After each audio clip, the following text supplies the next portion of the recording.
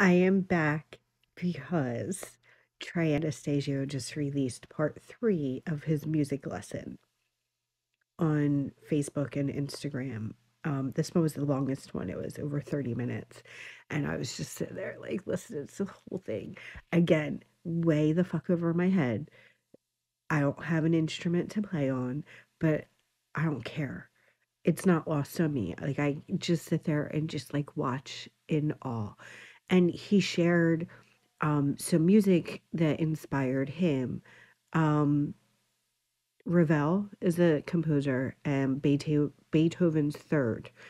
Um, and to see him like dance along in his head to the music, it like really gave me full body goosebumps because that's how I am to his music every single day for the past 29 fucking years of my life. I can't count how many times he said melody. And every time he said melody, now I know he's talking about melody in song, but every time he fucking says melody, all I think about is come as melody and it starts playing in my head. He you today was the first day that he played any of his own music um on the guitar while giving examples. And he did today and he started off with the lizards.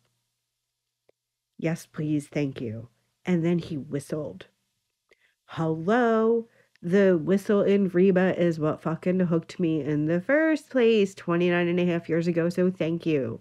Please, yes, more of these. Again, I can't understand. Like, I, it's just not, it's like a foreign language to me, but I am here for it. I am so grateful. He's sitting at home in front of the fireplace. You can see the reflection of the fireplace on the neck of his guitar. He had this little keyboard that he took out. Um, you have to watch this. Again, I want Trey on fucking TikTok. Granted, he can't do anything longer than three minutes on TikTok, but he needs to be over here. There's a spot over here for him. Um, so come on, Trey, let's go over here to TikTok. Come play over here. Um, dude, I'm like elevated high right now from like 34 minutes of video of him talking music and playing music and